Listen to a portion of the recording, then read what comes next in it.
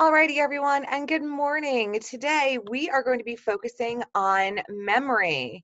Now, when we are talking about memory, we're going to be focusing on several different types of memory. We're going to be looking at short term working memory and long term memory. We're going to be talking about how we are able to encode, process, store, and retrieve our information. So when we think about memory, this is the information that's collected and stored in our brain and is generally retrievable for later use. The way that memory works isn't yet completely understood by a lot of psychologists, but there's a census on the general process involved in how memories are encoded, stored, and retrieved. Think of your computer, excuse me, think of your brain like a computer's hard drive. Although we may not yet understand completely just how our memory works, there are many theories and models to explain how our brain processes information to form memories. Most psychologists consider many of these approaches together when studying memory. One popular model compares the brain's memory system to a computer, retrieving data, converting it into an understandable code, and then storing it for later use although the brain's memory system is a lot more complex than a computer, this is still a useful metaphor. Only some of the information that is constantly taken in by the brain each day is remembered. Why is it? Oh, so sorry about that.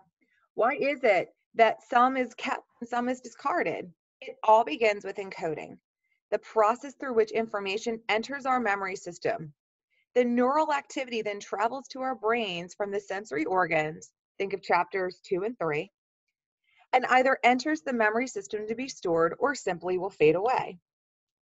The information that is kept and then preserved for possible recollection in the future is called our storage. That recollection is the important next step. The process of, of accessing this encoded and stored information in one's memory, this is known as retrieval when we think about our memory, it's important for us to think about this and examine it from a levels of processing perspective. The levels of processing framework for memory suggests that a hierarchy of processing stages corresponds to different depths of information processing. In this model, processing occurs along a continuum, with the shallow end focusing on physical features of objects and the deeper end concerned with patterns and meaning. If you pay little attention, shallow processing occurs, resulting in less permanent memories. With more attention, deeper processing occurs and longer lasting memories form. The more deeply you think about incoming information, connecting it to other memories and knowledge, the better you'll remember it. How do we even know about this? Craik and Tulving explored this idea in their 1975 study in which they presented college students with information and then asked either shallow, intermediate, or deep questions about it. When the students were later tested on the material, they best remembered the information about which they were prompted to think deep about. So, one of the most influential models of memory, at least the functioning of it, that is often used by psychologists is the information processing model, which suggests that memory occurs in a series of stages representing a flow of information, which you can see on the screen. According to this model, the brain has three types of memory storage. Sensory memory, which essentially captures near exact copies of vast amount of sensory stimuli for a very brief period of time. Short-term memory, which temporarily maintains and processes a limited amount of information, and long term memory, which has essentially unlimited capacity that stores enduring information about facts and experiences. Although the information processing model is a useful tool for exploring how memory works, it has flaws. Some critics say it's too simplistic, that sensory memory is essentially a part of perception, and that no clear boundary exists between short term and long term memory. As I've said before, much of the sensory information entering our brains is kept only for a short time. George Sperling was particularly interested in how much of what we see is retained in our memories. To study this, he showed participants an array of letters very briefly and then asked them to report what they remembered and what they saw. He found that iconic memories are photograph like in their accuracy, but they dissolve in less than one second. Some sensory information is kept longer. Echoic memory, exact copies of the sounds we hear, can last from 1 to 10 seconds and can detect very slight changes in sound. We also have this eidetic imagery, which is very similar to iconic memories. So again, this just shows us on the screen of how long iconic memories last. There's a saying that you remember about 20% of what you see, 40% of what you hear, and about 80% of what you do. So as we are thinking about memory, remember that the more senses that we engage, think back to chapter three, the more senses that we are able to engage, the more that we are going to be able to retain this information. Information is not held in sensory memory for long, and the data that is that is kept moves on to short-term memory according to the information processing model. Short-term memory has a limited capacity, allowing you to concentrate on only a tiny amount of the data that's coming in. The things that capture your attention move to short-term memory, while the rest is lost. One way to increase the amount of information that can be maintained in your short-term memory is through chunking, which means grouping numbers, letters, or other items into meaningful subsets. We also have this notion of the working memory. This is the active processing of memory in short-term memory. It helps to maintain and manipulate the information in our memory system. So when we are thinking about this, we went from sensory to short-term memory, as you see on your screen. And when we think of short-term memory, it often is going to be part of the central executive portion of our brain. And we will see on the next slide that working memory is the memory that is currently processing. It lasts for less than a minute and is limited in capacity.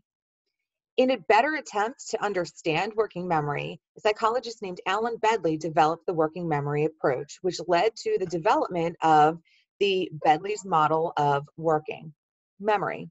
The model assumes that each component has a limited capacity and is relatively, not entirely, independent of the others. So, what does all of this mean? Well, let's look at the components of working memory. If we go back to the previous slide, you'll see that there's the central executive, which is where our direction is, um, where our attention is directed. We also have visuospatial sketchpad, which works with visual and spatial information. An episodic buffer, which brings information together and allows us to problem solve. And the phenom and the phonological loop, which works with verbal information. Remember, the more senses that we stimulate, the more we can retain information. So let's first look at these four components. The phonological loop processes sounds and is responsible for speech-based information.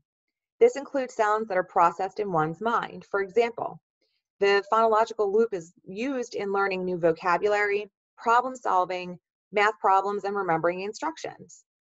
In all these tasks, sounds are being processed through the phonological loop. Then we have the visuospatial sketchpad. It's responsible for processing visual and spatial information. It can be fed either directly through perception or indirectly through a visual image. The Visuospatial Sketchpad allows people to store images of objects and their locations. It's also helpful with navigation.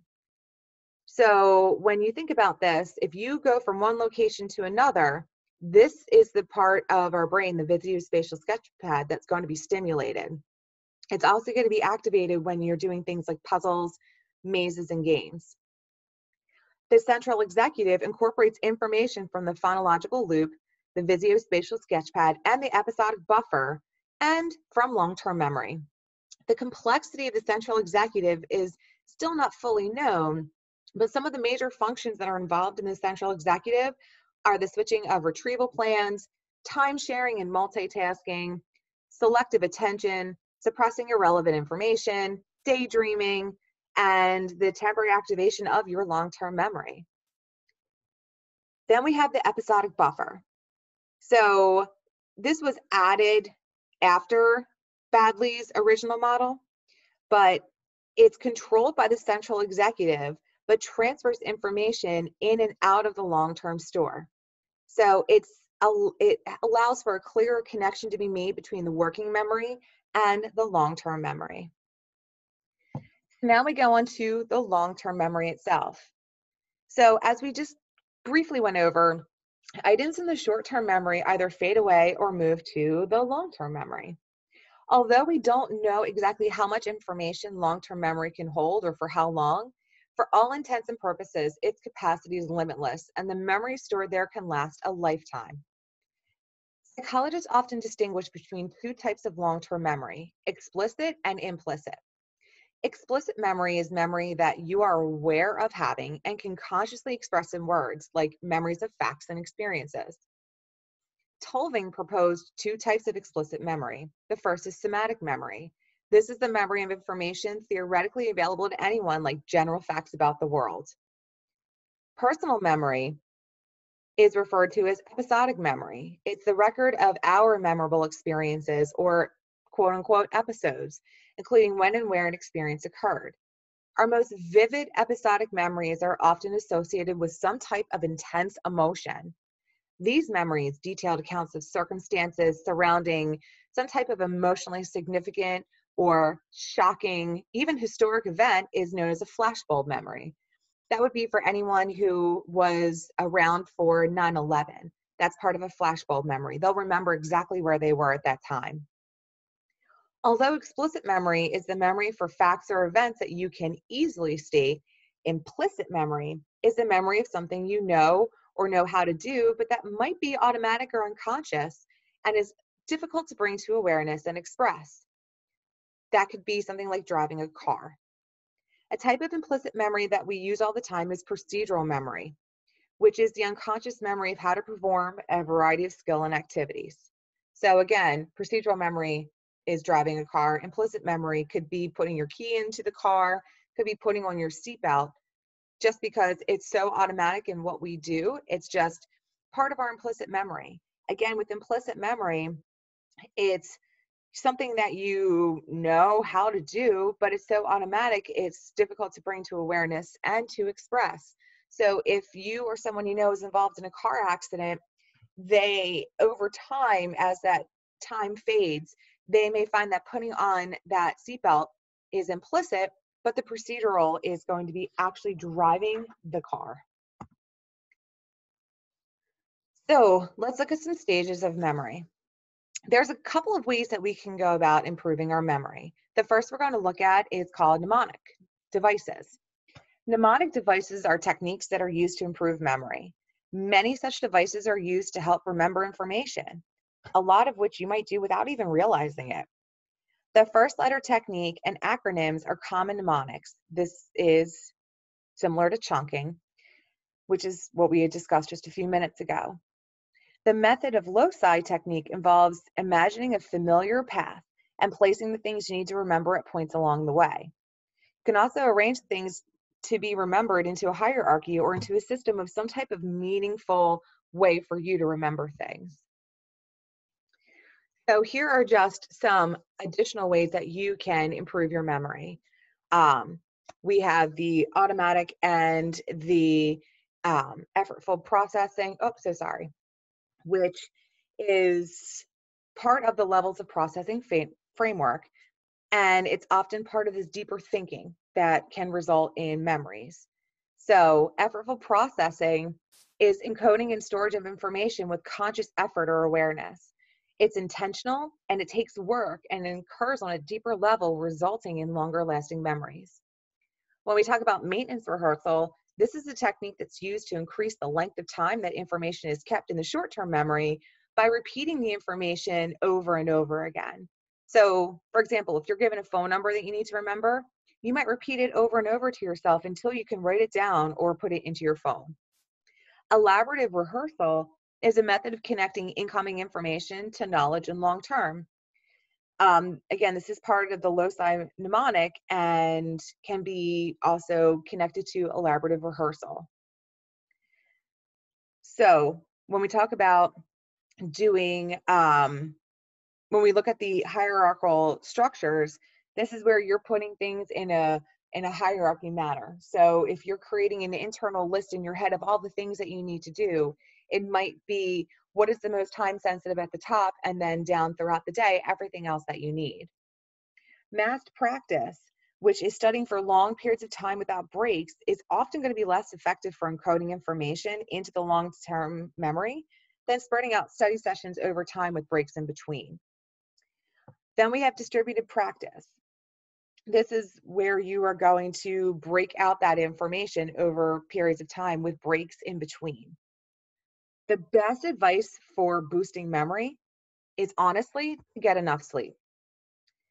So, when we think about sleep and we think about how sleep is super important to us, we need to remember that sleep helps us to essentially I'm trying to think of how to even put it in words.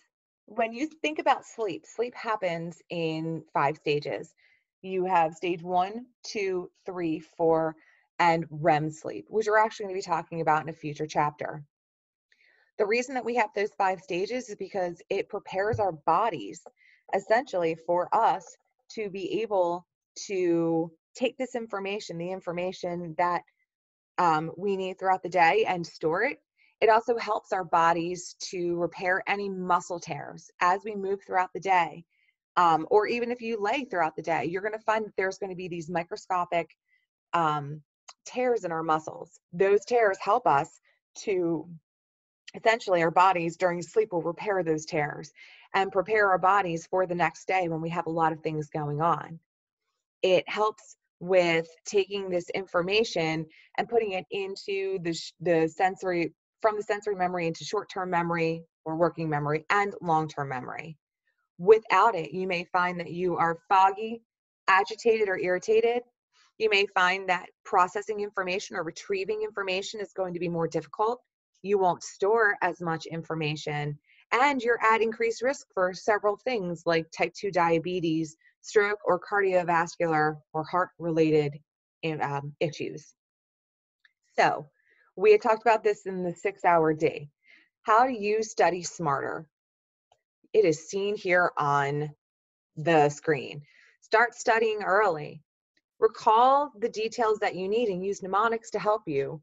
Organize the information that you need and start making those connections give yourself plenty of time to start studying, especially considering that we have a test coming up in two weeks. Start now in or next week. Start studying now so that you can prepare for chapters five, six, and seven. And also get some rest. The more rest you get, the better you'll be able to work. What can you actually retrieve? So, with all of these efforts to better encode and store memories, they're useless unless you can also retrieve them. Retrieval without the use of any cues is known as recall. this is the type of retrieval you would use when answering a fill in the blank question. To answer a multiple choice question, you would use recognition. This matches incoming data to information that's stored in the long term memory. Retrieval cues are stimuli that help in the retrieval of stored information that might be more difficult to access. If you're trying to remember someone's name and your friend whispers the first letter into your ear, it may help you think of the entire name. The stimulation of memories through retrieval cues, this is known as priming. So I want you to think for a second. You're at the grocery store and your you know friend or family member, they call and ask you to pick up five more items your ability to remember this list of new items without writing it down depends on the item's placement in the series. Oh, sorry, y'all. So when we think about this, this is part of the effect. So we have the serial position effect. Again, the placement of the items in your series. You're most likely to remember the item at the beginning of the list. If that's you, that's the primacy effect if you're most likely to remember the last item of the list, if that's you, that's the recency effect. As shown by Godden and Baddeley's classical experiments, Context also matters in memory, especially memory retrieval. These researchers instructed participants to study information in two contexts, either underwater with scuba gear or on land. Their recall was then tested in both situations. The participants were better able to remember the information in the same situation in which they learned it. This context dependent memory is part of the encoding specificity principle. This states that memories are more easily recalled when the context and cues at the time of encoding are similar to those at the time of retrieval. This suggests that activity in your brain at the time of encoding is similar to that of retrieval, which has been supported by functional MRI studies. Memories, they're also more easily retrieved when your mood and emotions are similar to when they were created. This is called a state-dependent memory. So, how easily do we remember things? When we look at the screen, you can see that, again, mood and memory help with deeper processing and retrieval. If our mood is similar, then you will find that there is some type of congruence. So again, if you are if you are looking at a state dependent memory, this is when you're going to retrieve it. The memory will be the same as when you were when you had actually learned it. So, in addition to recall and recognition, there's a more subtle form of retrieval that also takes place when you're learning material for a second time. When you are essentially relearning material that you learned previously you're going to require that information more quickly in subsequent exposures. This concept was first recognized by Hermann Ebbinghaus, who used himself as the sole participant of his experiment. He learned lists of nonsense syllables and then put them aside for later. When he picked up the list to memorize them again, he timed himself to see how fast he learned the list and determined that we get sort of like a savings when we relearn material. Learning something for the first time is difficult, but learning for a second time is faster and easier because you have some memory of the retrieval. So that could be very similar to um, an example could be if you are learning a language again. It's something that you may have learned before um, many years ago. And as you go to reintroduce yourself to that and relearn the information, you'll find via Ebbinghaus that you can learn that information a lot quicker because you've learned it once before. Bowers had talked about how people who have knowledge of a language from early life often show some type of memory savings when they try to relearn it again as adults. So Bowers built a lot of his information off of Ebbinghaus. So when we are continuing to look at Ebbinghaus, we can have some memory slips. Essentially, it's us forgetting things. So what causes us to actually forget? Error can occur in any stage of memory processing, encoding, storage, processing, retrieval. If information never enters the memory system, an encoding error causes you to forget. If you weren't paying attention to the event, it may never enter into your memory at all, and you'll be unable to recall it later. We also have, oh, sorry, we also have a storage failure that can result in memory lapse. If you cease to use the information in your long-term memory, it can decay and become inaccessible. What about that feeling that memory is just kind of out of reach? That is an example of retrieval failure called the tip of the tongue phenomenon. Most of us feel this fairly often, but are able to eventually retrieve the information about half the time. What if you never forgot anything? This is the case for individuals with what's called hyperthymestic syndrome. But forgetting has adaptive advantages, so remember everything can interfere with the thought process. So here we're looking at Ebbinghaus' curve of forgetting, which typically will occur within the first hour of learning and then often will level off. The tip of the tongue is then is isn't only the type of retrieval error that you can experience. Retrieval can be influenced or even blocked by information we learned before or after a memory is formed. So proactive interference is the tendency for information learned in the past to interfere with retrieval of new information. Retroactive interference is the tendency for recently learned information to interfere with the retrieval of things learned in the past. Imagine again, that you learned Spanish, let's say, as a second language when you were in middle school um, or even early high school.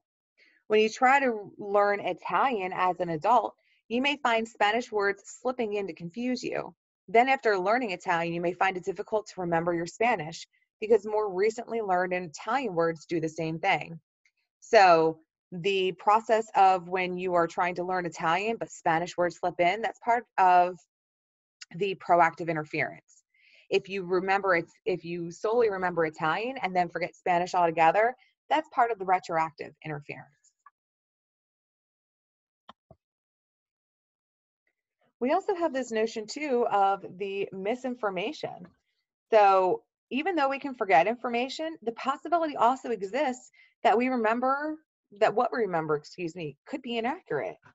If you compare your memory of a child event with your sister's memory of the same event or brother's information the same event, chances are your stories are not exactly the same. Stored memories are constantly updated and revised, changing exactly what was remembered. So, there's a psychologist named Elizabeth Loftus, and she's been studying memory and its reliability for a long time, over 40 years she suggests that our accounts of past events shouldn't be expected to be identical to those of others or even our own previous renditions of the events. She proposed a reconstructivist oh, model of memory in which memories are understood as creative blendings of fact and fiction. Memories may fade or influenced by information learned after they were formed. Memories aren't mirrors of reality, but rather it's going to be our perception of it. So this can be related to false memories because Elizabeth Loftus also looked at rich false memories. They're detailed recollections of an event that never occurred and are expressed with emotions and confidence. She found in a 1995 study that she did that about 25% of participants were able to quote unquote remember an event that they ne- that never actually happened they asked the relative to record three real shared events and one plausible story about a trip to a shopping mall that never occurred. They asked the participants to recall as many details as possible about all four events, and 29% of the participants were able to remember details about this false event. So, what does that tell us? It tells us that when we have emotions that are deeply connected with some type of memory, whether they are real or not, it's our perception that enable us to encode this information. As you go through your day, you draw heavily on memory to complete most, if not all, of what you do. If everything you do relies so much on memory, important processes must be taking place in the brain. One way to study how memory works as the brain is to look at what happens when it's damaged seriously just damaged. We know that there are two different types of amnesia. There's anterograde and retrograde amnesia. Anterograde amnesia is an, an inability to create new memories following some type of damage to the brain or injury to the brain. Retrograde amnesia is an inability to access memories formed before damage or injury to the brain, or there's difficulty in retrieving them. So, again, retro means before, antro means after. So retrograde amnesia is where you can't retrieve old memories, but you can form new ones. And antegrade amnesia, you can retrieve old memories, but you can't form any type of new memories. This is something that is being studied in our brains, especially in light of a lot of the different issues that are occurring within our sports systems. Um, football, for example, being one of them. So we're going to stop here today. We just covered a lot of information in this half hour, and I want to make sure that you have the ability, excuse me, that you have the ability to process some of this information. Um, make it from your short-term memory and working memory into your long-term memory as much as possible. So we're going to pick up here on Wednesday, and we're going to cover the last few chapters or last few um, bits of information from this chapter. And we also have a couple of different activities that are going to help us with understanding how our memory works and how we can access and store and retrieve this information later. Does anyone have any questions about anything that was reviewed today?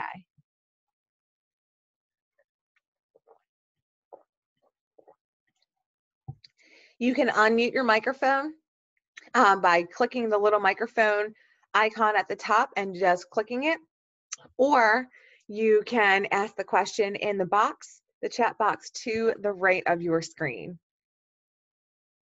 Because if nobody has any questions, you are more than welcome to leave as soon as I take attendance.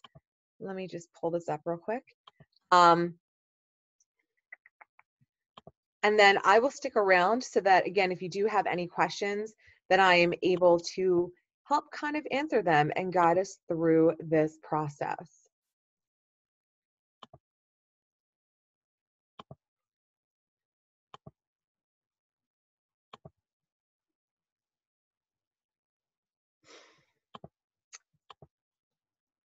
Okay, um, for those of you who have not turned in your rough draft, we had quite a number of people who did not turn in the rough draft of their literature review.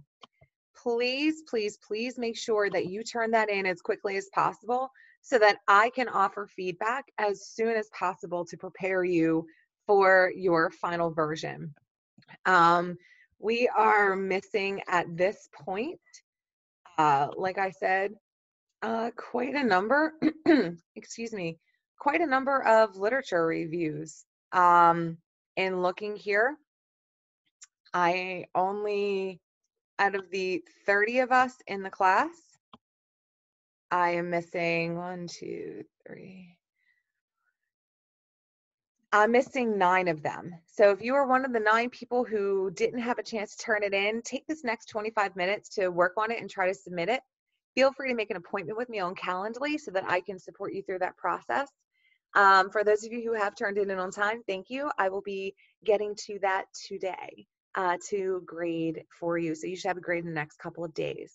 Um, but I hope all of you have a great day. Feel free to stick around if you have any questions, and I will see you all on Wednesday. Have a good one, y'all.